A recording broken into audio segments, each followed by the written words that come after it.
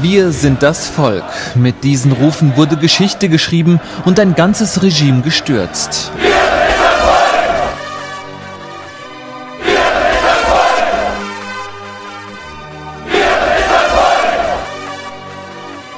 Wir sind das Volk.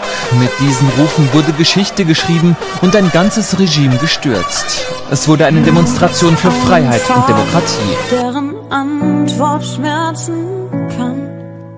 Mut fängt nach dem Scheitern wieder ganz von vorne an.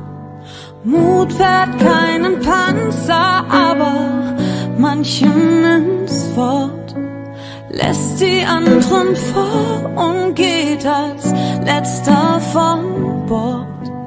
Mut macht keine Pause, wenn es nicht gerade brennt. Ist kein Ego-Projekt oder ein flüchtiger Trend. Mut ist, wenn du mit der Angst tanzt, das, was du machst.